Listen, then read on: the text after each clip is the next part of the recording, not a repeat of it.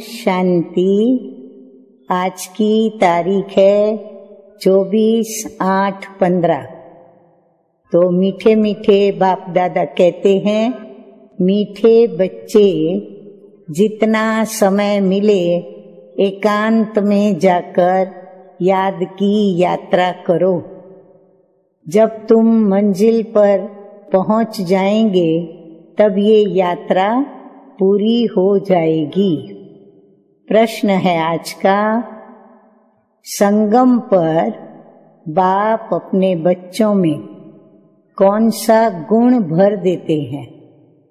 संगम पर बाप अपने बच्चों में कौन सा ऐसा गुण भर देते हैं जो आधा कल्प तक चलता रहता है? उत्तर है, बाप कहते हैं, जैसे मैं अति स्वीट हूँ। ऐसे बच्चों को भी स्वीट बना देता हूँ। तो सभी स्वीट बने हो ना? हाँ यदि नहीं बने, कम बने हैं तो रोज पुरुषार्थ करें अधिक से अधिक स्वीट बनने का। तो देवताएँ बहुत स्वीट हैं। तुम बच्चे अभी स्वीट बनने का पुरुषार्थ कर रहे हो। जो बहुतों का कल्याण करते हैं, जिनमें कोई शैतानी ख्यालात नहीं हैं, वो स्वीट हैं। उन्हें ही ऊंच पद प्राप्त होता है और उनकी ही फिर पूजा होती है। अब मुरली शुरू हो रही है। ओम शांति। बाप बैठ समझाते हैं कि इस शरीर का मालिक है कौन? आत्मा। ये पहले समझना चाहिए, क्योंकि अभी बच्चों को ज्ञान मिला है। पहले पहले तो समझना है कि हम आत्मा हैं। शरीर से आत्मा काम लेती है पार्ट बजाती है तो ऐसे ऐसे ख्यालात और कोई मनुष्य को आते नहीं, क्योंकि वे सभी देह अभिमान में हैं। यहाँ इस ख्यालात में बिठाया जाता है कि मैं आत्मा हूँ और ये मेरा शरीर है और मैं आत्मा परम पिता परमात्मा की संतान हूँ। और ये याद ही घड़ी घड़ी भूल जाती है। तो ये पहले पूरी याद करनी चाहिए। बाबा कहते हैं, यात्रा पर जब जाते हैं तो कहते हैं कि चलते रहो। तुमको भी याद की यात्रा पर चलते रहना है। यानी याद करना है। याद नहीं करते, गोया यात्रा पर नहीं चलते। देह अभिमान आता है। देह अभिमान से कुछ न कुछ विकर्म बन जाता है। ऐसे भी नहीं कि मनुष्य सदैव विकर्म ही करते हैं। फिर भी कमाई तो बंद हो जाती है ना? इसलिए जितना हो सके याद की यात्रा में बाबा कहते हैं कि ढीला नहीं पड़ना चाहिए। एकांत में बैठ अपने साथ विचार सागर मंथन कर पॉइंट्स निकालनी होती है। कितना समय हम बाबा की याद में रहे, मीठी चीज़ होती है तो मीठी चीज़ की याद पड़ती है ना? अच्छा आगे बाबा कहते हैं कि बच्चों को समझाया है कि इस समय सभी मनुष्य मात्र एक दो को नुकसान ही पहुंचाते हैं। सिर्फ़ टीचर की महिमा बाबा करते हैं, उनमें कोई कोई टीचर खराब होते हैं। नहीं तो टीचर माना टीच करने वाला, मैनर्स सिखलाने वाला, जो रिलीजियस माइंडेड, यानी अच्छे स्वभाव के होते हैं तो उनकी चलन भी अच्छी होती है। बाप अगर शराब आती पीते हैं तो बच्चों को भी वह संग लग जाता है। इसको कहेंगे खराब संग, क्योंकि रावण राज्य है ना? राम राज्य था तो ज़रूर, परंतु वो था तो कैसा था? कैसे स्थापन हुआ? ये वंडरफुल मीठी बातें तुम बच्चे ही जानते हो। स्वीट, स्वीटर स्वीटेस्ट कहा जाता है ना? तो बाबा कहते हैं कि बाप की याद में रहकर ही तुम पवित्र बन और पवित्र बनाते हो। बाप नई सृष्टि में नहीं आते हैं। सृष्टि में मनुष्य, जानवर, खेती, बाड़ी आदि आदि सब होता है। मनुष्य के लिए तो सब कुछ चाहिए ना? शास्त्रों में प्रलय का वृत्तांत भी रॉन्ग है। प्रलय होती ही नहीं, ये सृष्टि का चक्र फिरता ही रहता है। तो बाबा कहते हैं कि बच्चों को आदि से अंत तक ख्याल में रखना है। मनुष्यों को तो अनेक प्रकार के चित्र याद आते हैं मेले मलावड़े याद आते हैं। वो सभी हैं हद के और तुम्हारी है बेहद की याद, बेहद की खुशी और बेहद का धन। हाँ सभी के पास है ना ये सब बातें? तो बेहद का बाप है ना? तो हद के बाप से हद का मिलता है। तो बेहद के बाप से हमें बेहद का सुख मिलता है। सुख होता ही है धन से। अब धन तो वहाँ अपार है, सब कुछ वहाँ सतो प्रधान है। तुम्हारी बुद्धि में है कि हम सतो प्रधान थे, फिर बनना है।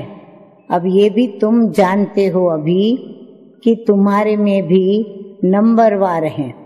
कोई स्वीट है, कोई स्वीटर है, कोई स्वीटेस्ट है ना? बाबा से भी कई स्वीट होने वाले हैं। वही फिर ऊंच पद भी पाएँगे।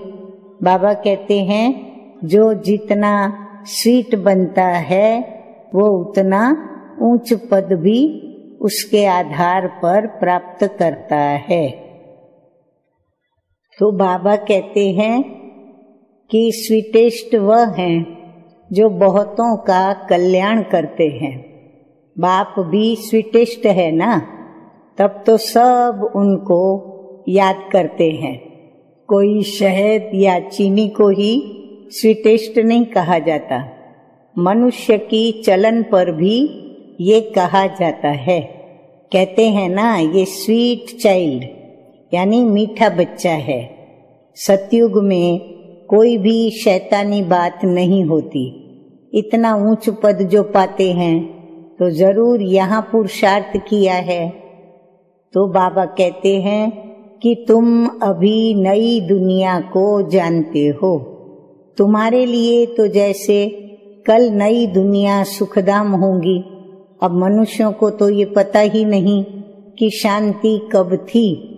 कहते हैं कि विश्व में शांति हो। अब तुम बच्चे जानते हो कि विश्व में शांति थी। तो अभी फिर से स्थापन कर रहे हो। अब ये सभी को समझाएँगे कैसे? तो ऐसी ऐसी पॉइंट्स निकालनी चाहिए, जिसकी बहुत चाहना है मनुष्यों को। क्या चाहना है? कि विश्व में शांति हो। इसके लिए फिर रड़ी मारते रहते हैं, क्योंकि अशांति बहुत है। तो ये लक्ष्मी नारायण का चित्र सामने देना है। और फिर बताना है कि इनका जब राज्य था तो विश्व में शांति थी और उनको ही हेवन, डीटी वर्ल्ड कहते हैं। वहाँ विश्व में शांति थी। आज से पाँच हज़ार वर्ष पहले की बात है। ये तो और कोई नहीं जानते। अब ये है मुख्य बात। सभी आत्माएँ पुकारती हैं कि यहाँ विश्व में शांति चाहिए तो तुम यहाँ विश्व में शांति स्थापन करने का पुरुषार्थ कर रहे हो। जो विश्व में शांति चाहते हैं, उन्हें तुम सुनाओ कि भारत में ही शांति थी। जब भारत स्वर्ग था तो शांति थी। अब नर्क है तो नर्क माना कलह युग में अशांति है। क्योंकि धर्म अनेक है, माया का राज्य है और भक्ति का भी पौम्प है, दिन प्रतिदिन वृद्धि होती ही जाती है। मनुष्य भी मेले मलाखड़े आदि पर जाते हैं तो समझते हैं, ज़रूर कुछ सच होगा, अभी तुम समझते हो, उनसे कोई पावन नहीं बन सकते हैं। पावन बनने का रास्ता मनुष्यों को कोई भी बता न सके, क्योंकि पतित पावन एक ही बाप है। दुनिया एक ही है, सिर्फ़ नई और पुरानी, ऐसे कहा जाता है। नई दुनिया में नया भारत, नई दहली कहते हैं। नई होनी है, जिसमें फिर नया राज्य होगा। अब यहाँ पुरानी दुनिया में पुराना राज्य है पुरानी और नई दुनिया किसको कहा जाता है, यह भी तुम जानते हो। भक्ति का भी कितना बड़ा प्रस्ताव है। इसको कहा जाता है? अज्ञान। ज्ञान सागर एक बाप है। बाप तुमको ऐसे नहीं कहते कि राम राम कहो व कुछ करो, नहीं। बाप तो बच्चों को समझाते हैं तो बच्चों को समझाया जाता है कि वर्ल्ड की हिस्ट्री, ज्योग्राफी कैसे रिपीट होती है। ये एजुकेशन तुम पढ़ रहे हो। इसका नाम ही है रूहानी एजुकेशन, स्पिरिचुअल नॉलेज। इनका अर्थ भी कोई नहीं जानते। ज्ञान सागर तो एक ही बाप को कहा जाता है। वो है स्पिरिचुअल नॉलेज फुल फादर तो बाप रूहों से बात करते हैं। तुम बच्चे भी समझते हो कि रूहानी बाप हमें पढ़ाते हैं। और ये है स्पिरिचुअल नॉलेज रूहानी नॉलेज को ही स्पिरिचुअल नॉलेज कहा जाता है। आगे अब मीठे मीठे बाप दादा कहते हैं कि तुम बच्चे जानते हो कि परम पिता परमात्मा बिंदी है और वो हमको पढ़ाते हैं। हम आत्माएँ पढ़ रही हैं, ये हमें भूलना नहीं चाहिए। हम आत्मा को जो नॉलेज मिलती है, फिर हम वो दूसरी आत्माओं को देते हैं और ये याद तब ठहरेगी जब अपने को आत्मा समझकर बाप की याद में रहेंगे। याद में बहुत कच्चे हैं। जट देह अभिमान आ जाता है। देही अभिमानी बनने की प्रैक्टिस करनी है। हम आत्मा इनको सौदा देते हैं। हम आत्मा व्यापार करते हैं। तो अपने को आत्मा समझ, आत्मा को ज्ञान है कि हम यात्रा पर हैं। कर्म तो करना ही है। बच्चों आदि को भी संभालना है। धंधा दोरी भी करना है। धंधे आदि में ये याद रहे कि हम आत्मा हैं, ये बड़ा मुश्किल है। तो बाप कहते हैं, कोई भी उल्टा काम कभी नहीं करना। सबसे बड़ा पाप है विकार का। वही बड़ा तंग करने वाला है।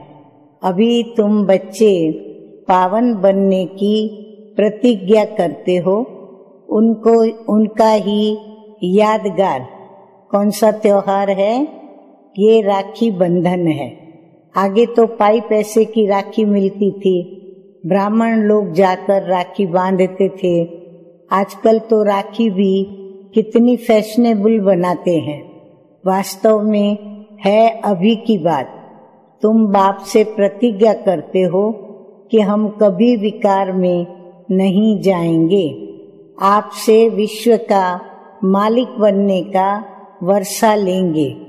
बाप कहेंगे, तिरसठ जन्म तो विषय वैतरणी नदी में तुम बच्चों ने गोते खाए, अब तुमको क्षीर सागर में ले चलते हैं। सागर कोई है नहीं। भेंट में कहा जाता है, यानी तुलना में बताया जाता है। तुमको शिवालय में ले जाते हैं, वहाँ अथा सुख है। कहाँ की बात हो रही है? सतयुग की। अभी ये तुम्हारा अंतिम जन्म है तो मीठे मीठे बाप दादा कहते हैं, हे आत्माएँ, पवित्र बनो। क्या बाप का कहना नहीं मानेंगे? ईश्वर तुम्हारा बाप कहता है, मीठे बच्चे, विकार में नहीं जाओ। जन्म जन्मांतर के पाप सिर पर हैं। मुझे याद करने से ही वो भस्म होंगे। कल्प पहले भी तुमको मैंने शिक्षा दी थी। तो बाप गारंटी तब करते हैं जब तुम ये गारंटी करते हो कि बाबा हम आपको ही याद करते रहेंगे। इतना याद करते रहो जो शरीर का भान न रहे। सन्यासियों में भी कोई कोई तीखे, बहुत पक्के ब्रह्म ज्ञानी होते हैं। वह भी ऐसे बैठे बैठे शरीर छोड़ते हैं। यहाँ तुमको तो बाप समझाते हैं, पावन बन कर के जाना है वह तो अपनी मत पर चलते हैं। ऐसे नहीं कि वो शरीर छोड़कर कोई मुक्ति, जीवन मुक्ति में जाते हैं। नहीं, आते फिर भी यहाँ ही है। परंतु उनके फॉलोअर्स समझते हैं कि वो निर्वाण में गया। बाप समझाते हैं, एक भी वापस जा नहीं सकता। कायदा ही नहीं झाड़ वृद्धि को ज़रूर पाना है। तो अभी तुम संगम युग पर बैठे हो और सब मनुष्य हैं कलय युग में। तुम दैवी संप्रदाय बन रहे हो। जो तुम्हारे धर्म के होंगे, वह तो आते जाएँगे। अब देवी देवताओं का भी वहाँ सिजरा है ना? यहाँ बदली होकर और धर्मों में कन्वर्ट हो गए हैं। फिर निकल आएँगे। नहीं तो वहाँ जगह कौन भरेंगे? ज़रूर वह अपनी जगह भरने फिर आ जाएँगे। तो ये बहुत महीन बातें हैं। बहुत अच्छे अच्छे भी आएँगे जो दूसरे धर्म में कन्वर्ट हो गए हैं तो फिर अपनी जगह पर वो आ जाएँगे। तुम्हारे पास मुसलमान आदि भी तो आते हैं ना? तो बड़ी खबरदारी भी रखनी पड़ती है। झट जाँच करेंगे कि यहाँ दूसरे धर्म वाले कैसे जाते हैं। इमरजेंसी में तो बहुतों को पकड़ते हैं। फिर पैसे मिलने से छोड़ भी देते हैं। जो कल्प पहले हुआ है, तुम अभी देख रहे हो। कल्प आगे भी ऐसे हुआ था। तुम अभी मनुष्य से देवता, उत्तम पुरुष बनते हो। ये है सर्वोत्तम ब्राह्मणों का कुल। इस समय बाप और बच्चे रूहानी सेवा पर है। कोई गरीब को धनवान बनाना ये रूहानी सेवा है। बाप कल्याण करते हैं तो बच्चों को भी मदद करनी चाहिए। जो बहुतों को रास्ता बताते हैं, वो बहुत ऊंच चढ़ सकते हैं। तुम बच्चों को पुरुषार्थ करना है, लेकिन चिंता नहीं करनी है, क्योंकि तुम्हारी रेस्पॉन्सिबिलिटी बाप के ऊपर है। पुरुषार्थ ज़ोर से कराया जाता है, फिर जो फल निकलता है, समझा जाता है कि कल्प पहले मिसल। तो बाप बच्चों को कहते हैं, बच्चे फ़िक्र मत करो, सेवा में मेहनत करो, नहीं बनते तो क्या करेंगे? इस कुल का नहीं होगा तो तुम भला कितना भी माथा मारो, कोई कम तुम्हारा माथा खपाएँगे, कोई जास्ती खपाएँगे। बाबा ने कहा है, जब दुख बहुत आता जाएगा तो फिर आएँगे। तुम्हारा व्यर्थ कुछ भी नहीं जाएगा। तुम्हारा काम है राइट बताना। शिव बाबा कहते हैं, मुझे याद करो तो तुम्हारे विकर्म विनाश होंगे। ऐसे बहुत कहते हैं कि भगवान है, ज़रूर है। महाभारत लड़ाई के समय भगवान था। सिर्फ़ कौन सा भगवान था, उसमें मूंझ गए हैं। अब कृष्ण तो हो न सके। कृष्ण उस ही फीचर्स से फिर सतयुग में ही होगा। हर जन्म में फीचर्स बदलते जाते हैं। सृष्टि अब बदल रही है। पुराने को नया अब भगवान कैसे बनाते हैं, वह भी कोई नहीं जानते। तुम्हारा आखिर नाम निकलेगा। स्थापना हो रही है फिर ये राज्य करेंगे। विनाश भी होगा। एक तरफ़ नई दुनिया और एक तरफ़ पुरानी दुनिया। ये चित्र बड़ा अच्छा है। कहते भी हैं कि ब्रह्मा द्वारा स्थापना, शंकर द्वारा विनाश, परंतु समझते कुछ भी नहीं। मुख्य चित्र है त्रिमूर्ति का। ऊंचते ऊंच है शिव बाबा। तुम जानते हो कि शिव बाबा ब्रह्मा द्वारा हमको याद की यात्रा सिखला रहे हैं तो बाबा को याद करो। योग अक्षर जरा डिफ़िकल्ट लगता है। याद अक्षर बहुत सहज है। बाबा अक्षर बहुत लवली है। तुमको खुद ही लज्जा आएगी कि हम आत्माएँ बाप को याद नहीं कर सकती हैं, जिनसे हमको विश्व की बादशाही मिलती है तो आप ही लज्जा आएगी। बाप भी कहेंगे, तुम तो बेसमझ हो। बाप को याद नहीं कर सकते हो तो वर्षा कैसे पाएँगे? विकर्म विनाश कैसे होंगे? तो तुम आत्मा हो, और मैं तुम्हारा परम पिता, परमात्मा, अविनाशी हूँ ना? तो तुम चाहते हो कि हम पावन बन सुख धाम में जाए तो श्रीमत पर चलो। मुझ बाप को याद करो तो विकर्म विनाश होंगे। याद नहीं करेंगे तो विकर्म विनाश कैसे होंगे? अच्छा मीठे मीठे सिकिल दे बच्चों प्रति मात पिता बाप दादा का याद प्यार और गुड मॉर्निंग, रूहानी बाप की रूहानी बच्चों को नमस्ते। हम रूहानी बच्चों का रूहानी बाप दादा को याद प्यार गुड मॉर्निंग और नमस्ते नमस्ते। तो धारणा के लिए मुख्य दो बातें। नंबर एक है, हर प्रकार से पुरुषार्थ करना है। बाबा कहते हैं, फ़िक्र नहीं, चिंता नहीं, क्योंकि हमारा रेस्पॉन्सिबल स्वयं बाप है। हमारा कुछ भी व्यर्थ नहीं जा सकता। नंबर दो है, बाप समान बहुत बहुत स्वीट बनना है, अनेकों का कल्याण करना है। इस अंतिम जन्म में पवित्र ज़रूर बनना है। धंधा आदि करते अभ्यास करना है कि मैं आत्मा हूँ।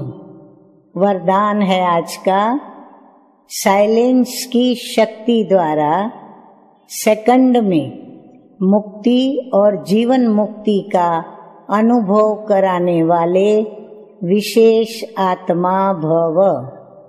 बाप कहते हैं, विशेष आत्माओं की लास्ट विशेषता है कि सेकंड में किसी भी आत्मा को मुक्ति और जीवन मुक्ति के अनुभवी बना देंगे। सिर्फ़ रास्ता नहीं बताएँगे, लेकिन एक सेकंड में शांति का व अतीन्द्रिय सुख का अनुभव कराएँगे। जीवन मुक्ति का अनुभव है सुख और मुक्ति का अनुभव है शांति। तो जो भी सामने आए, वो सेकंड में इसका अनुभव करे। जब ऐसी स्पीड होंगी, तब साइंस के ऊपर साइलेंस की विजय देखते हुए सबके मुख से वाह वाह की आवाज़ निकलेगी और प्रत्यक्षता का दृश्य सामने आएगा। स्लोगन है आज का बाप के हर फरमान पर स्वयं को कुर्बान करने वाले सच्चे परवाने बनो। अच्छा ओम शांति।